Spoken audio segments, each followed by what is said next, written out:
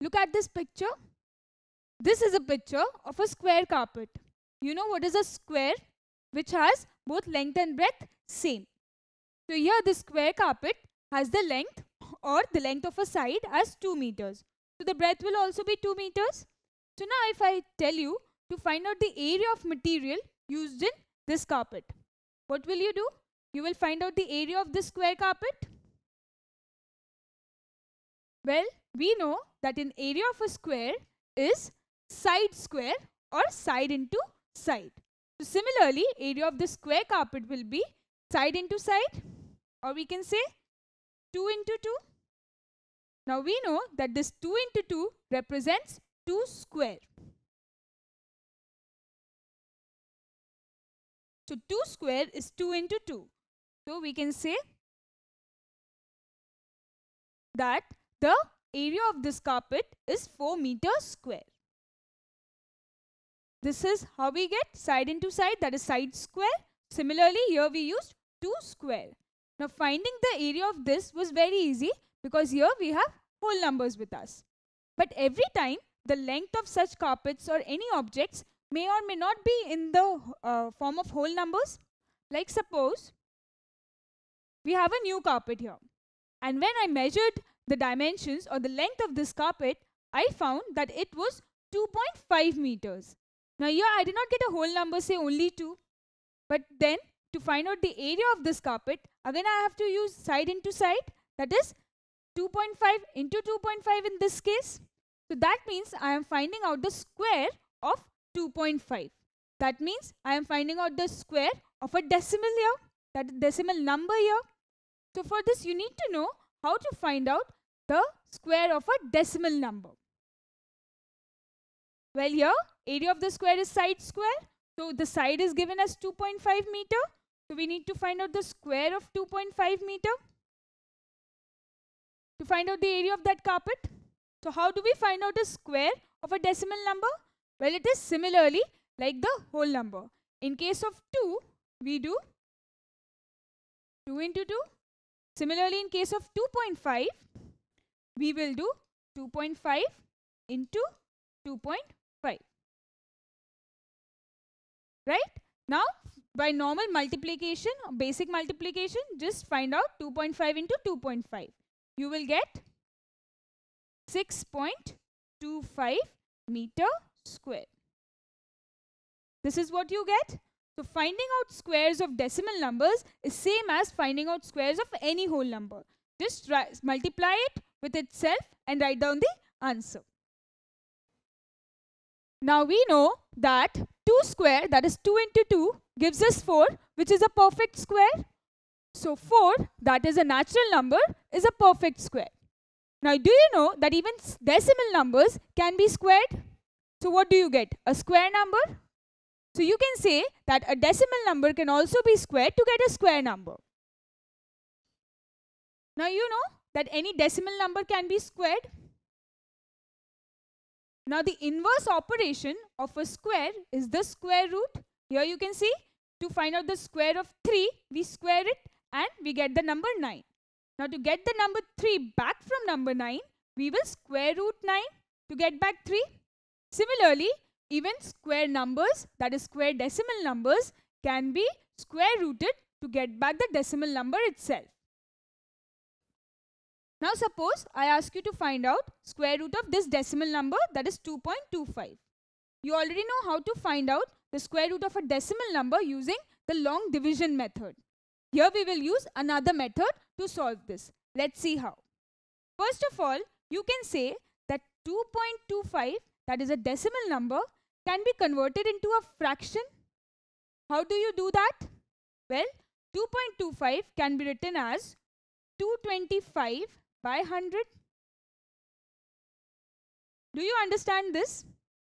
You can see that the decimal point is before two digits here that is 2 and 5. So if you want to convert it into a fraction then you can add two zeros in the denominator with a 1 here. So this becomes a fraction. Now suppose this is not given and this is a fraction given to you. How will you convert it into a decimal number? Just count the number of zeros and starting from the ones digit, start putting the decimal number. So the number of zeros here are 2.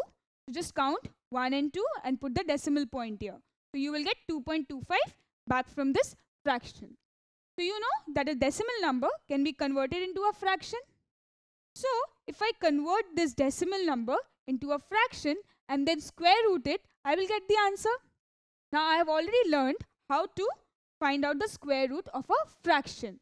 So if you have a decimal number in front of you, just convert it into a fraction and then find out the square root using the method which we have taught you in the fraction method. Now square root of a fraction is what? Square root of the numerator by square root of the denominator. Just recall it. So here what we have done? We have just converted it 2.25 into a fraction number. So whenever you have a decimal number and you do not want to use long division method, you can convert it into a fraction number and then you can square root this separately. So I can say that square root of this is equal to square root of this. Putting the sign of square root both sides.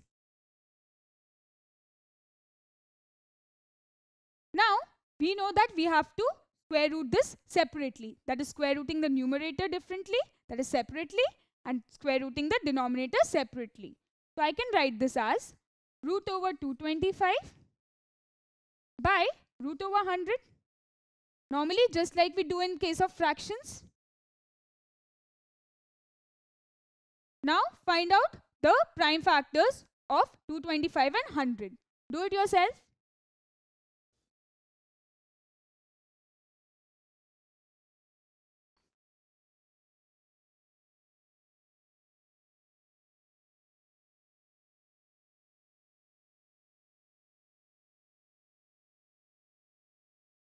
See, 225 can be factorized into 3 into 3 into 5 into 5. So write this down. Just replacing 225 with these numbers. Well, if you do not want to repeat this whole process as it is very very easy or simple for you, what you can do is just multiply 3 into 5 that is 15 into 15 you will get 225. So instead of writing this whole thing, you can also write 15 into 15 under the square root. Similarly, factorize 100. Well, 100 you can also see that 10 into 10 gives us 100. So you can either write here 10 into 10 or you can factorize 100 also.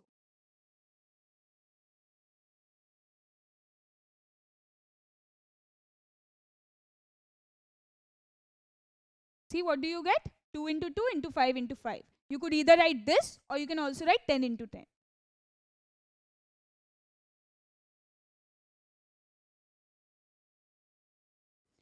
Now you know whenever we find out square root, we group things into pairs of 2 and then we take out only one number out from the square root.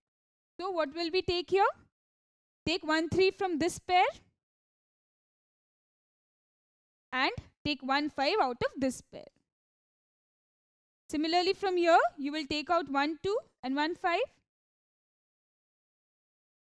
So what do you get? 3 into 5 by 2 into 5.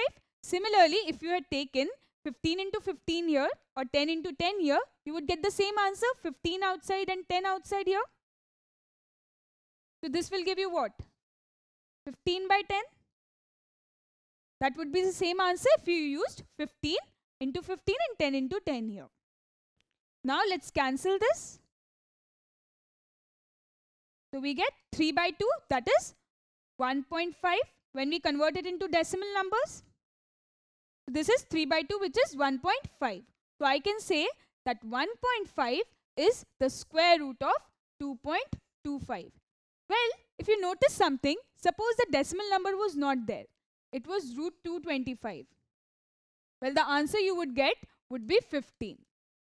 So see, only the decimal points are here. Otherwise, the square root is same in the numerical value. So what did we study?